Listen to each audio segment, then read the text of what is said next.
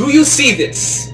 This is happening all over the world right now, such as from Hong Kong, to India, to Canada, and even Brazil.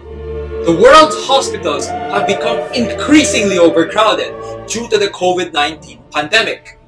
Hospitals manage their emergency departments using triage because some patients simply need to be given a higher priority level than others.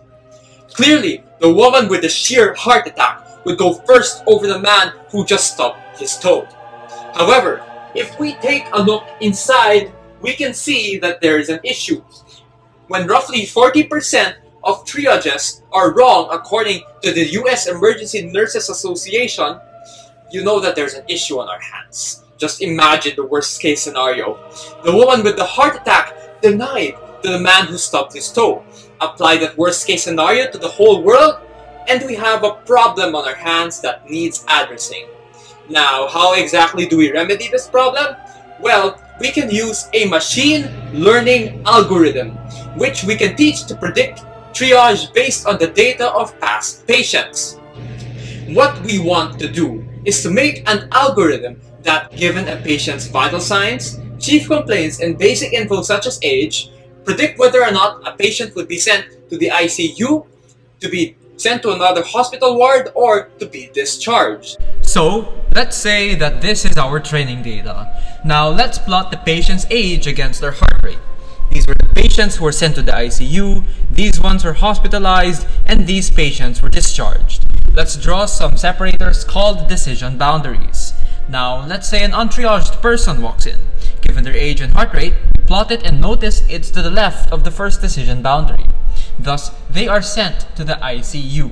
We can then test our model's accuracy by having it predict the triage of past patients. With that in mind, what we want to do is to make a model that is more accurate than nurses. Said model will then be added to an Android application, which would accept patient data, predict their triage, and then add patients to a waiting list ordered according to priority. Now, how do we do this? Well, first of all, we need data.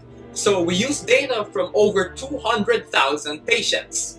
This was followed up with data cleaning and undersampling, which we did by removing all null and inaccurate values from the data. And then balanced out the class distributions. It's important that our class distributions are roughly equal in order to make the model make accurate predictions without bias towards the majority.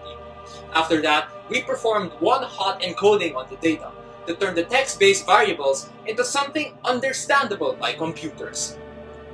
As for the coding of the machine learning models, we tested six of them to optimize their performance, we looped through all possible combinations of the model settings in order to find the one that yielded the highest accuracy. We then tested our models using tenfold cross-validation, which uses different parts of the data to train and test our models. We measured the model's accuracy by averaging it across 10 folds. Using our best model, we move on to the coding of the Android application. First, we have the user input the patient's data onto the first screen of our application, which data is then stored in a string array. It is then sent to our machine learning model, which makes a prediction. On the second screen of our application, we can see how the app sorts out the patient's predictions using a priority queue. Now, let us take a look at our model results. As we can see, the random forest model outperformed all other models and nurses in predicting ICU admissions. However, nurses have a lower false negative rate than our model, meaning that they are better at identifying patients not at risk. On the other hand, our model is three times better at identifying patients who are at risk compared to nurses. Similarly, the multi-layer perceptron outperformed the other models and nurses in predicting hospitalization. With hospitalization, our models have significantly lower false positive and negative rates than nurses. All in all, if nurses get to use this application, it could help them triage faster and more accurately.